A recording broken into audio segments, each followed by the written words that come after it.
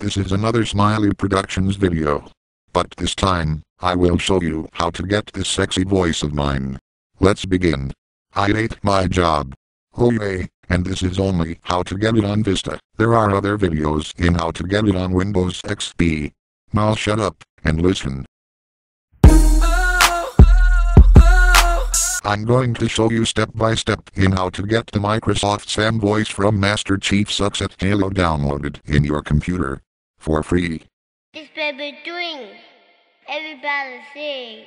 First go to google.com. Bolo. Bolo. Chill, two pistols.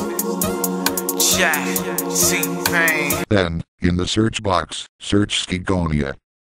Santana. I. Once you have typed in Speakonia, you should enter the result page like this.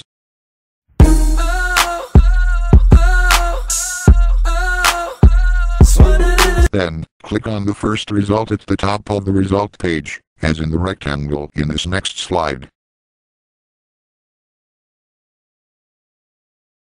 Then it should bring you to a page like this.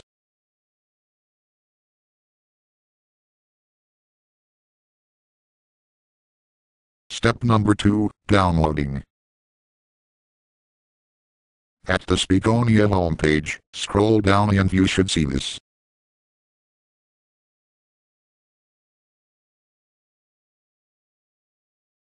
Click on the information that is circled in the previous slide, and then you should come to this.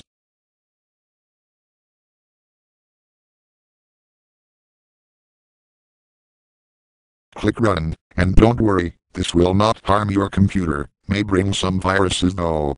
Just kidding.